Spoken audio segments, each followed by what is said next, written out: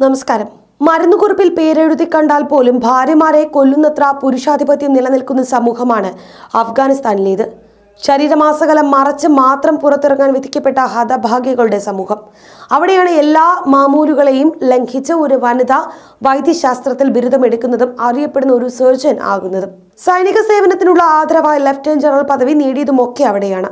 അഫ്ഗാനിസ്ഥാനിലെ ഒരേ ഒരു വനിതാ ലഫ്റ്റനന്റ് ജനറലായ ഡോക്ടർ സുഹൈല സിദ്ദിഖ് ഇക്കഴിഞ്ഞ വെള്ളിയാഴ്ച തന്റെ സംഭവബഹുലമായ ജീവിതത്തിൽ നിന്നും വിടവാങ്ങിയിരിക്കുകയാണ്. കഴിഞ്ഞ ആറ് വർഷമായി അൽഷിമേഴ്സ് രോഗം ബാധിച്ച ഈ എഴുപത്തിരണ്ടുകാരി ആശുപത്രിയിൽ ചികിത്സയിലായിരുന്നു.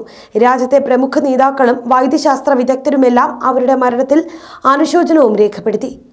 മെഡിക്കൽ രംഗത്ത് സ്വന്തമായി വ്യക്തിമുദ്ര പതിപ്പിച്ച സുഹൈൽ പിന്നീട് സൈന്യത്തിൽ അനേകം തലമുറകൾക്ക് മാർഗദീപമായി മാറി എന്നാണ് ഇവരെക്കുറിച്ചുള്ള അനുസ്മരണകളിൽ എല്ലാവരും ചൂണ്ടിക്കാട്ടുന്നത്. ആ ജീവിതം മുഴുവൻ മറ്റുള്ളവർക്ക് പ്രചോദനം നൽകുന്ന ഒന്നാണ് എന്നും പലരും പറയുന്നുണ്ട്. അഫ്ഗാനിസ്ഥാന്റെ തലസ്ഥാനമായ കാബൂളിലെ ഒരു ധനിക കുടുംബത്തിലായിരുന്നു ആയിരത്തി തൊള്ളായിരത്തി നാൽപ്പത്തിയെട്ടിൽ സുഹാല ജനിച്ചത്. നഗരത്തിലെ പ്രശസ്തമായ മെഡിക്കൽ കോളേജിൽ നിന്നും വൈദ്യശാസ്ത്രത്തിൽ ബിരുദമെടുത്ത ശേഷം ഉപരിപഠനത്തിനായി അവർ മോസ്കോയിലേക്ക് പോയി. അതിനുശേഷം അഫ്ഗാൻ സൈന്യത്തിലെ ഒരു ഡോക്ടറായി അവർ ചേർന്നു. സോവിയറ്റ് അധിനിവേശ കാലത്ത് അന്നത്തെ സോവിയറ്റ് അനുകൂല സർക്കാരാണ് സുഹൈലയ്ക്ക് ലഫ്റ്റനന്റ് ജനറൽ പദവി നൽകുന്നത്. അന്നു മുതൽ അവർ ജനറൽ സുഹൈലയാണ്. രാജ്യം കണ്ട ഏറ്റവും മികച്ച സർജൻ കൂടിയായിരുന്നു സുഹൈല.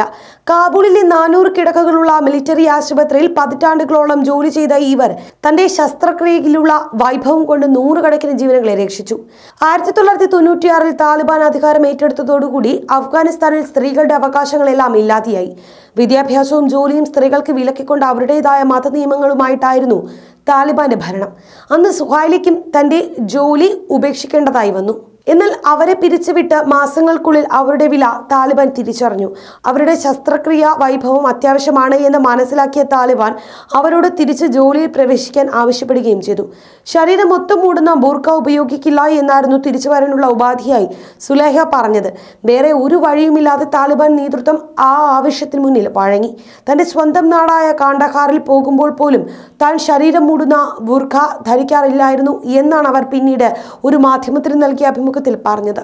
അതേസമയം ബുർഖ നിരോധനത്തെക്കാൾ പ്രാധാന്യം അർഹിക്കുന്നത് പെൺകുട്ടികൾക്ക് വിദ്യാഭ്യാസം ഉറപ്പാക്കുന്നതാണ് എന്ന പക്ഷക്കാരിയായിരുന്നു അവർ.